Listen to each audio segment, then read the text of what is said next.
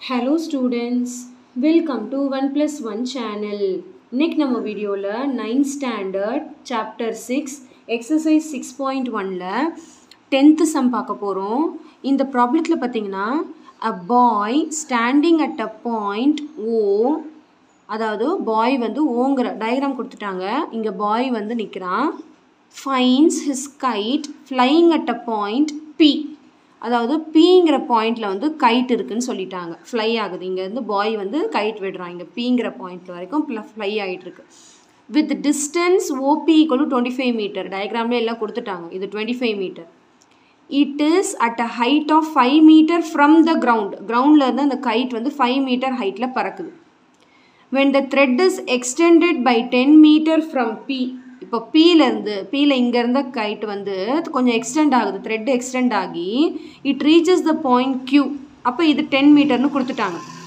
What will be the height of QN of the kite from the ground இந்த position இது என்னன்னு height என்னன்னு கேட்குறாங்க கொஷின் என்ன ஹிண்ட் கொடுத்துருக்காங்கன்னா யூஸ் ட்ரிக்னாமெட்ரிக் ரேஷியோஸ் அப்படின்னு கொடுத்துட்டாங்க.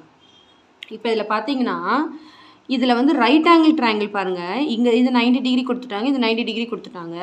அப்போ நம்மளுக்கு இதுலேருந்து ஓஎம்பி அப்படிங்கிற ஒரு ரைட் ஆங்கிள் ட்ரையாங்கிள் இருக்குது இன்னொன்று பார்த்தீங்கன்னா ஓஎன்கியூ அப்படிங்கிற ஒரு ரைட் ஆங்கிள் ட்ரையாங்கிள் இருக்குது ரெண்டு ரைட் ஆங்கிள் ட்ரையாங்கிள் இருக்குது ஸோ இதுலேருந்து நம்ம என்ன பண்ண முடியும் அப்படின்னு யோசிச்சிங்கன்னா யூஸ் ட்ரிக்னாமெட்ரிக் ரேஷியோஸ்ன்னு சொல்லிட்டாங்க இல்லையா?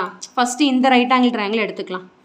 இந்த ரைட் ஆங்கிள் ட்ரையாங்கிளில் அவங்களே கொஷனில் கொடுத்துட்டாங்க இதுதான் தீட்டா இதுதான் ஆங்கிள் அப்படின்ட்டு. அப்போது இதுதான் நைன்டி டிகிரினா இது ஹைப்பாட்டினியஸ் இதுதான் ஆங்கிள்னா இது ஆப்போசிட் இது அட்ஜசன்ட் இப்போ கொஷனில் என்ன கொடுத்துருக்காங்கன்னா ஹைப்பாட்டீனியஸும் ஆப்போசிட் சைடு தான் கொடுத்துருக்காங்க. அட்ஜசன்ட் சைடு தெரியாது.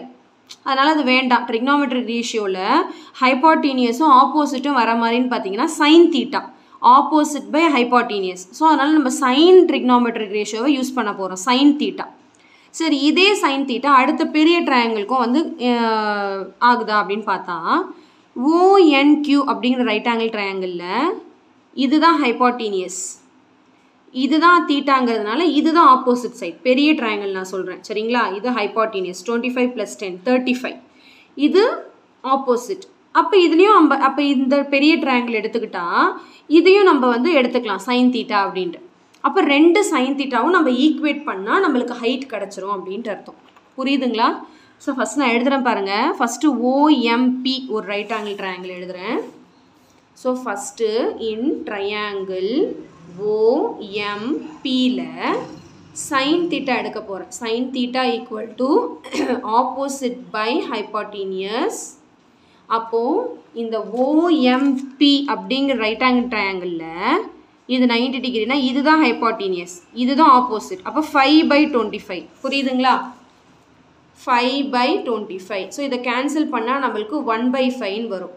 ஸோ இப் இது ஒரு சைன் தீட்டா கிடச்சிருக்கு அந்த குட்டி ட்ரையாங்கிள்லேருந்து அடுத்த இன்னொரு ட்ரையாங்கிள் இருக்குல்ல அதை எடுக்க போகிறேன் ONQ right angle triangle okay அடுத்து வந்து இன் ட்ரையாங்கிள் ஓஎன் கியூவில் ஓஎன் கியூவில் பார்த்தீங்கன்னா இதில் வந்து இதுதான் நைன்டி டிகிரியில் அப்போ இது ஹைப்பாட்டினியஸ் இது ஹைட்டு இதுதான் ஆப்போசிட் அப்போ H by twenty five plus ten வரும். புரியுதுங்களா?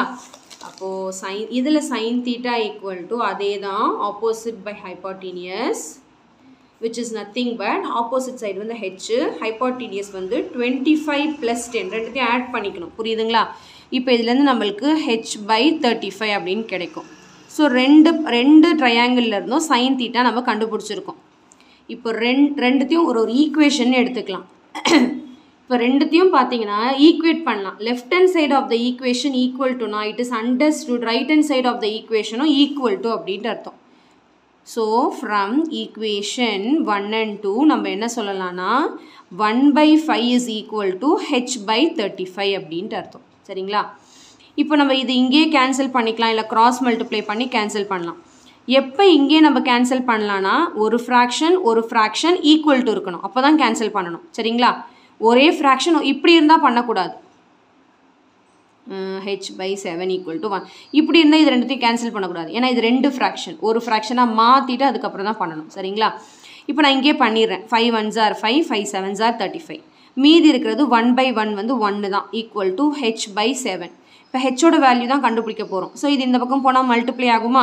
இப்போ one into seven is equal to seven அப்போ H is equal to seven metre ஏன்னா கொஷனில் டயக்ராமில் எல்லாமே மீட்டரில் கொடுத்ததுனால அந்த ஹெச்சும் வந்து செவன் மீட்டர் ஹைட்டு ஸோ கொஷனில் வந்து what will be the height of QN கேட்குறாங்க அப்போ ஃபைனலாக நம்ம எழுதிடலாம். Height of QN is equal to seven metre அவ்வளோதான் சிம்பிள் கான்செப்ட் தான்.